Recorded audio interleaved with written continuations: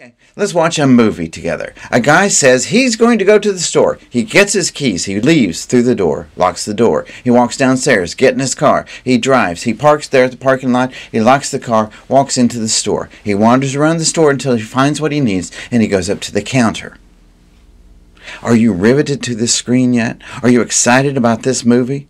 Well, probably not. But now at the counter, some, some guy pushes past him and shoves a gun in the store clerk's face.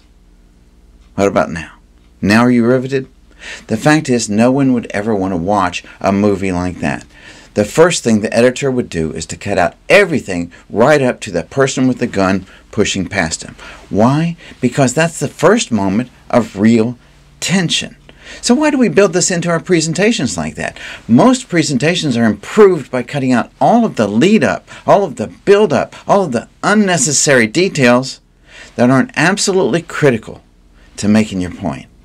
Message is start as close to the action as possible, and your audience will reward you with their complete attention.